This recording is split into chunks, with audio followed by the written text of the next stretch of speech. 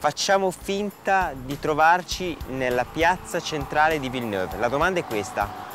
Nella piazza centrale di Villeneuve c'è un campanile senza l'orologio oppure una meridiana davvero davvero precisa? Pensaci un momento, ti do due secondi per pensare. Hai deciso? Ok. Ai ai ai, da come vedi da questa immagine il campanile ha l'orologio, quindi la risposta esatta questa volta era una meridiana con tavola d'equazione. Ma che cos'è una tavola d'equazione?